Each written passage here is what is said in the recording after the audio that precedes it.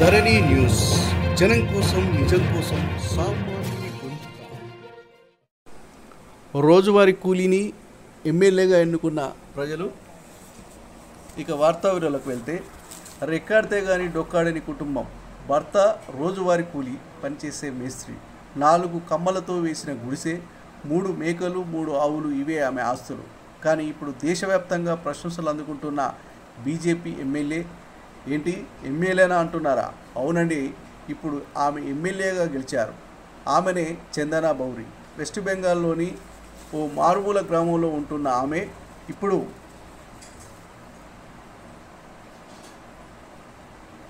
ఇప్పుడు అసెంబ్లీలో అడుగు పెడుతున్నారు. కలలోనైనా సాధ్యం కాని పనిని ఆమె చేసి చూపించారు. ఒక సాధారణ కూలీగా ఉన్న ఆమెను మొన్న జరిగిన ఎన్నికల్లో సాల్తోరా నియోజకవర్గం నుంచి నాలుగు వేల ఓట్లకు ఆధిక్యంతో బీజేపీ ఎమ్మెల్యేగా ఎన్నిక చేసుకున్నారు. దీంతో ఆమె ఒక్కసారిగా ఫేమస్ అయిపోయారు. అంతేకాదండోయ్ మమత గాలిని తట్టుకొని నిలబడడం అంటే అది మాటల్లో చెప్పలేనిది. ప్రత్యర్థి టీఎంసీ అభ్యర్థి సంతోష్ కుమార్ మండల్పై ఏకంగా నాలుగు వేల ఓట్ల మెజారిటీతో గెలిచి మొదటిసారి ఎమ్మెల్యే అయ్యారు. తన పేరిట రూపాయలు ముప్పై ఒక వెయ్యి తొమ్మిది వందల ఎనభై ఐదు తన భర్త పేరిట రూపాయలు ముప్పై వేల మూడు వందల పదకొండు మాత్రమే ఆస్తులున్నాయని ఆమె ప్రకటించారు.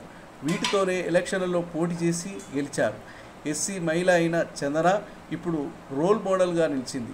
ముగ్గురు పిల్లలకు తల్లి అయిన చందన చరిత్రను తిరగరాసింది. తనకు టికెట్ వస్తుందని కలలో కూడా అనుకోలేదని తనకు మద్దతుగా చాలామంది స్వతంత్రంగా ముందుకు వచ్చారని తెలిపింది.